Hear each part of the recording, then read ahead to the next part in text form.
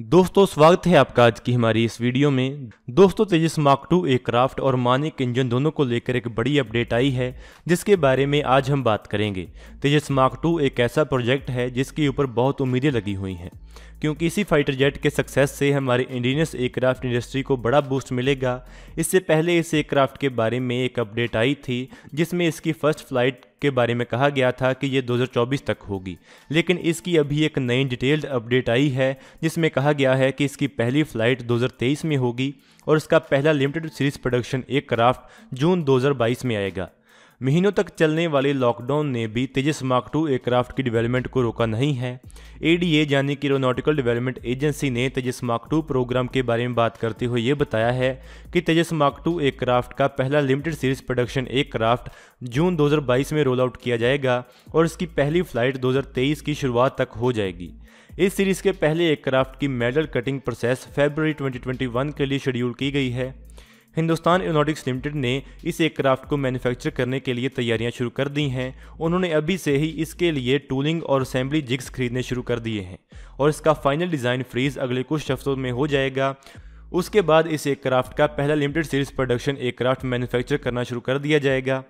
ADA और HAL की planning है कि वो इसकी फ़्लाइट टेस्टिंग और डेवलपमेंटल ट्रायल्स 2028 तक कंप्लीट कर लेंगे, जिससे ये एयरक्राफ्ट 2028 तक फुल स्केल प्रोडक्शन में एंटर हो जाएगा। इसकी development Tejas mark one programme के मुकाबले में ज़्यादा तेज़ी से हो रही है। वो इसलिए है क्योंकि हमें तेजस मार्क वन प्रोग्राम में सभी टेक्नोलॉजीज़ शुरू से डेवलप करनी पड़ी थी। लेकिन तेजस मार्क टू प्रोग्राम में ऐसा नहीं है। क्योंकि तेजस मार्क टू प्रोग्राम को पहले से डेवलप की जा चुकी टेक्नोलॉजीज़ और कंपोनेंट्स के इस्तेमाल से बनाया जाएगा, जिससे इसकी डेवलपमेंट में कम समय लगेगा। और कोई भी ऐसी बड़ी टेक्नोलॉजी नहीं है जिसको नए तौर पर डेवलप करना पड़ रहा है तो यही कारण है कि इस प्रोग्राम में डिले होने के चांसेस बहुत कम हैं और ये अपने शेड्यूल पर रहेगा।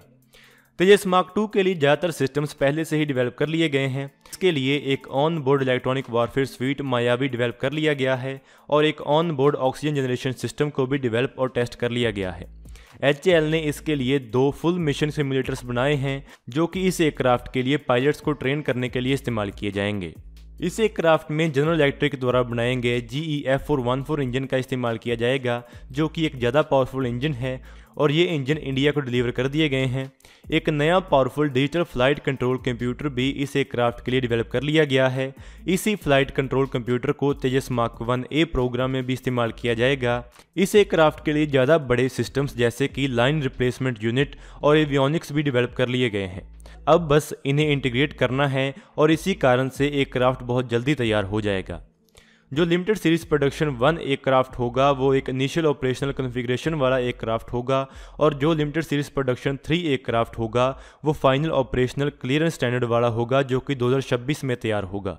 ये 17.5 टन का तेजस मार्क टू एयरक्राफ्ट एक ज़्यादा भारी G E F four one four engine के साथ पावर किया जाएगा और इसमें state of the art A S radar लगाया जाएगा। इसमें उत्तम ए एस रेडार का इस्तेमाल किया जाएगा और इसके साथ ही इसमें बहुत सारे इंडिनियसली डेवलप्ड वेपन सिस्टम्स लगाए जाएँगे। जैसे कि हाल ही में टेस्ट की गई एक anti radiation missile Rudra M का भी इसमें इस्तेमाल किया जाएगा और इसके साथ ही ये BrahMos next generation missile Astra mark one Astra mark two और Astra mark three S missile का भी इस्तेमाल करेगा। तेजस मार्क टू एयरक्राफ्ट में जो एवियोनिक्स रडार और दूसरे मेजर सिस्टम्स लगाए जाएँगे, ये सभी systems twin engine deck based fighter aircraft में भी लगाए जाएँगे। इससे पहले ऐसी आवाज़ें उठ रही थीं कि तेजस मार्क टू प्रोग्राम को कैंसिल कर दिया जाना चाहिए और एम फाइटर जेट के फेवर में इसको कैंसिल कर कर जो इसकी डेवलपमेंट में समय और पैसा खर्च होना है, उसको एम फाइटर जेट की डेवलपमेंट में लगाया जाना चाहिए। क्योंकि कुछ लोगों का ये मानना था कि जो फ्यूचर का वारफेयर होने वाला है, उसमें फिफ्थ जनरेशन फाइटर एयरक्राफ्ट ही काम आएँगे और उसमें 4.5 जनरेशन एयरक्राफ्ट की कोई जगह नहीं है। लेकिन हमारी एच और एडीए ने ऐसी बातों को नकारते हुए इस एयरक्राफ्ट की डिवेलपमेंट को सपोर्ट किया है और हमारी गवर्नमेंट ने भी इस एयरक्राफ्ट की डेवलपमेंट को सपोर्ट किया है। यही कारण है कि इस एयरक्राफ्ट की डिवेलपमेंट को बहुत तेज़ी से चलाया जा रहा है, क्योंकि अगले कुछ सालों में हमारी एयरफोर्स को 300 के करीब नए इंडिजिनस फाइटर जेट्स की ज़रूरत है, जो कि वो हमारे देश से ही खरीदेंगे, जिसमें Tejas mark two aircraft Tejas mark one aircraft और एम जैसे एयरक्राफ्ट शामिल होंगे। ऐसी रिपोर्ट्स थीं कि इंडियन एयरफोर्स ने ऐसा कमिट किया है कि वो 100 से ज़्यादा तेजस मार्क टू एयरक्राफ्ट हमारी एयरफोर्स में इंडक्ट करेंगे। ये एयरक्राफ्ट मेन तौर पर मिराज एयरक्राफ्ट को रिप्लेस करेगा और ये मिराज एयरक्राफ्ट से ज़्यादा बेहतर भी होने वाला है। इसके साथ ही ऐसी रिपोर्ट आई है कि हमारी जो निर्भय मिसाइल का नया टेस्ट होने वाला है, उसमें इंडीनस मानिक इंजन का इस्तेमाल किया जाएगा। मानिक एक इंडिजिनस स्मॉल टर्बोफैन इंजन है, जिसे कि गैस टर्बाइन रिसर्च एस्टेब्लिशमेंट जी ने डेवलप किया है। ये हमारी निर्भय क्रूज मिसाइल के लिए डेवलप किया जा रहा है।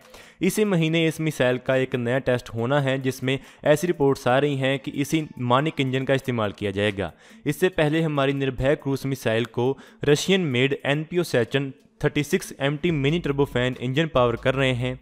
लेकिन अभी डीआरडीओ का प्लान है कि वो इस नए मानिक इंजन की डेवलपमेंट को वैलिडेट करने के लिए इस मिसाइल से इस इंजन का टेस्ट करेंगे।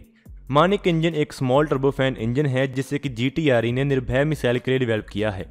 इसमें बहुत सारे एडवांस्ड फीचर्स हैं, जैसे कि state of the art control system जिसमें डिजिटल इंजन कंट्रोल और एडवांस्ड फ्यूल कंट्रोल सिस्टम्स और पायरो सिस्टम शामिल हैं। ये इंजन हमारी निर्भय क्रूज मिसाइल तक ही सीमित नहीं रहेगा।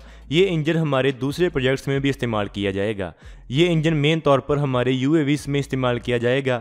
जैसा कि आप जानते हैं कि हमारा घातक ड्रोन डेवलप किया जा रहा है, लेकिन उससे पहले उसका एक स्विफ्ट छोटा मॉडल बनाया जा रहा है, जिसमें N P O Saturn thirty engine का इस्तेमाल किया जाएगा।